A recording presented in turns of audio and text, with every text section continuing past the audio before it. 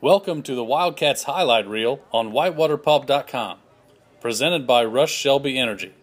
I'll be your host, Tyler Whittemore.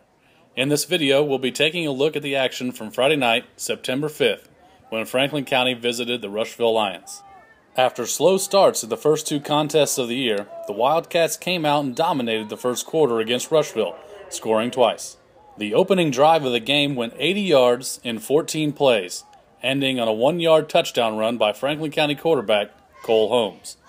Junior running back Cole McCreary would go on to score the two point conversion, giving FC an 8 0 lead. After a Lions punt, the Wildcats would be on the move again, working the ball inside the five yard line before a two yard touchdown run by McCreary. Holmes would make good on the two point conversion, and Franklin County would be staked to a 16 0 lead at the 348 mark in the first quarter.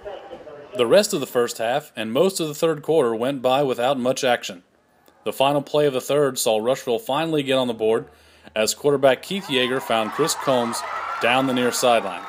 Combs was able to avoid the FC defense and scramble more than 40 yards for a Lions touchdown. Rushville attempted a pass on the conversion, but it fell incomplete, leaving the score at 16 to 6 in favor of the Wildcats as the fourth quarter got underway.